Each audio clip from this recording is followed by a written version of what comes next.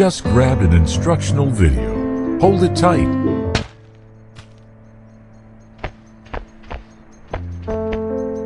Humans. They will run into every door they encounter.